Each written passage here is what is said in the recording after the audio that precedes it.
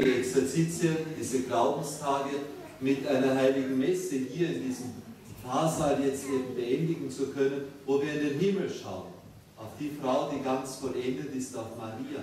Heute ist der 22. August, der achte Tag nach dem Fest der Aufnahme Mariens in den Himmel, seit 1954 das Fest Maria Königin. Ja, wir haben eine Königin, eine richtige Königin, die zugleich unsere Mutter ist, die im Himmel ist.